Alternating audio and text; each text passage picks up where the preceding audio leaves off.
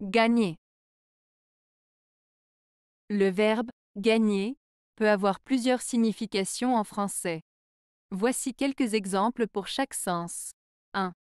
Remporter une victoire ou un gain. Les cavaliers ont gagné le match hier soir. J'ai gagné 500 euros à la loterie. Notre entreprise a gagné un nouveau contrat. 2. Obtenir une avance ou un avantage. En prenant cette route, nous gagnerons du temps. Il peut être utile d'apprendre une seconde langue, cela vous aidera à gagner en employabilité. Si nous travaillons en équipe, nous gagnerons en efficacité. 3.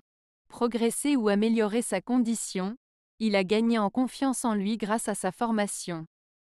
Après des mois d'entraînement, j'ai finalement gagné en endurance. En suivant ce régime, j'ai réussi à gagner en santé. Il est important de préciser que le mot gagner n'est pas toujours utilisé dans un contexte positif.